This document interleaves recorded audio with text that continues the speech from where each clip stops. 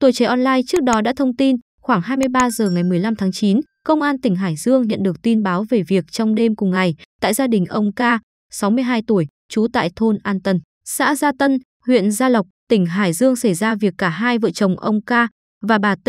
63 tuổi bị thương tích nặng, đang được đưa đi cấp cứu tại Bệnh viện Đa khoa tỉnh Hải Dương. Xác định vụ việc có tính chất đặc biệt nghiêm trọng, Giám đốc Công an tỉnh Hải Dương đã chỉ đạo Phòng Cảnh sát Hình sự, Công an huyện Gia Lộc và các đơn vị, địa phương phối hợp tổ chức khám nghiệm hiện trường, nhanh chóng truy theo dấu vết nóng để làm rõ vụ việc. Qua điều tra tại hiện trường, cơ quan điều tra xác định nghi phạm gây án là Hồ Si Tấn 28 tuổi, cùng trú tại thôn An Tân, xã Gia Tân. Sau khi gây án, Tấn đã trốn khỏi địa phương. Công an tỉnh đã tập trung lực lượng và sử dụng các biện pháp nghiệp vụ. Đến dạng sáng ngày 16 tháng 9, cơ quan điều tra phát hiện và triệu tập được Tấn khi đang lẩn trốn tại thành phố Hải Dương. Khai nhận ban đầu tại cơ quan điều tra, Tấn cho biết do tham gia chơi tiền ảo bị thu lỗ nặng dẫn đến nợ nần nên nảy sinh ý định trộm cắp tài sản để trả nợ. Đêm ngày 15 tháng 9, Tấn lẻn vào nhà ông Ca để trộm cắp nhưng bị phát hiện nên dùng dao tấn công vợ chồng ông Ca, bà T để tẩu thoát. Vụ việc khiến ông Ca do bị thương nặng nên đã chết khi đang đưa đi cấp cứu, còn bà T